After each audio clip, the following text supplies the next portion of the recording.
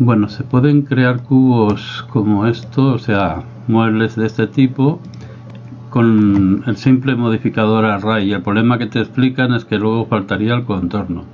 Esto en Blender, por ejemplo, sería añadimos un plano, ya te estoy diciendo, o sea, hay, cientos de formas de hacerlo, pero yo lo haría de esta forma. Vamos a poner que no es cuadrado, sino que es un poco estirado. Bien, controlar, rotación, escala. Entonces, modo de edición, cortamos con control más R. Y luego lo que hacemos es control más B para hacer un bevel. Y aquí le, vamos a dar lo que sería el grosor de las paredes. Es X. Y en el otro lado lo mismo, o sea, cortamos con control más B, ahí con control más R y con control más B hacemos el bevel y marcamos lo que sería el mueble en sí. Esto todavía es un plano, o sea, no tenemos todavía grosor. Entonces sería quitar la cara esta, X face, y con este objeto que ya tenemos, que volvemos a hacerle control a escala, le aplicamos el array. Em, vamos a ponerle 4x3, o sea, sería uno de 4 y un array más en el otro lado de 3.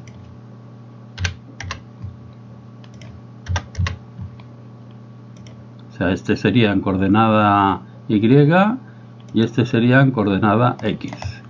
Como vemos, los grosores cuando se juntan, voy a ponerlo en moda vista de alambre para que se vea la diferencia.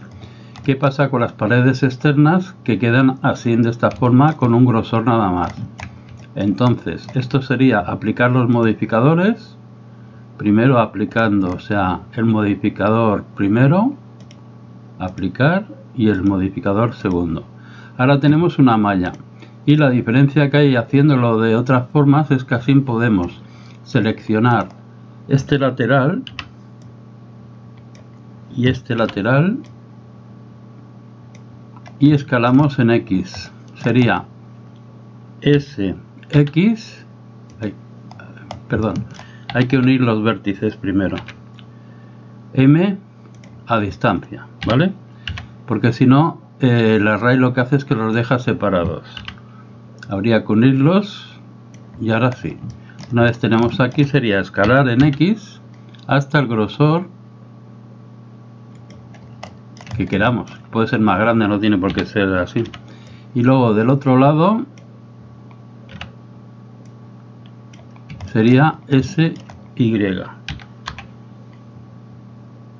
¿Vale? Digo, hay varias formas de hacerlo, pero esta es la que mejor queda porque queda todo de forma lineal. Se puede escalar directamente todo el contorno, por ejemplo sería esto, pero como vemos aquí la diferencia es que quedarían estos lados así, ¿vale? Muy bien.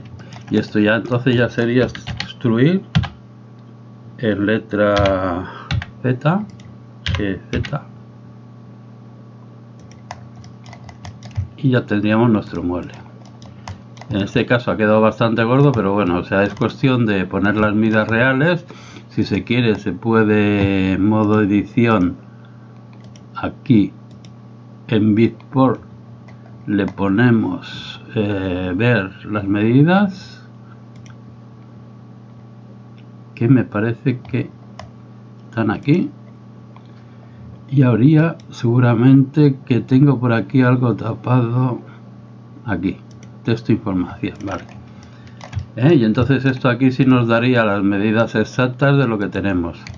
Si fuera 1.8 en este caso serían estos dos de aquí.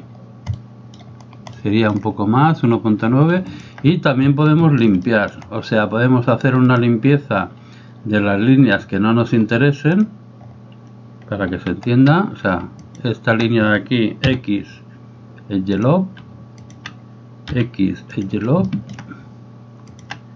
x edge lob lo mismo con todas